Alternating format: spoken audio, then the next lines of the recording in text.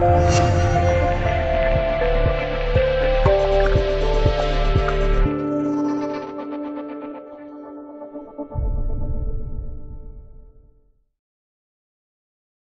梅耶尔，北京时间八月二十九日消息，二零一八年美网只进行了两天，就有四位老将将告别大满贯舞台。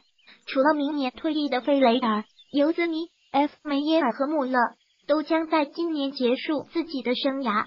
今年美网是他们生涯最后一个大满贯。第十六次出战美网正赛的尤兹尼，在落后巴格达蒂斯时因抽筋退赛。今年四大满贯军一轮游。俄罗斯老将将在自己的九月份的圣彼得堡赛挂牌。三十六岁的尤兹尼最高排名 number 八，拿过十个单打冠军，在二零零六和二零一零年美网均打进过四强，在其他三个大满贯则都进过八强。此外，他还夺得过2002和2006年戴维斯杯冠军。三十四岁老将 F 梅耶尔在第十二次美网正赛这里一比三不敌丘里奇。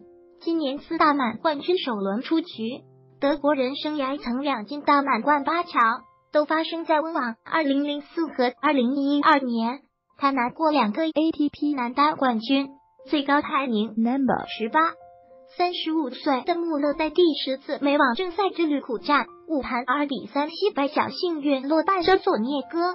这位卢森堡大炮曾在二零零八年美网和去年温网打进过八强。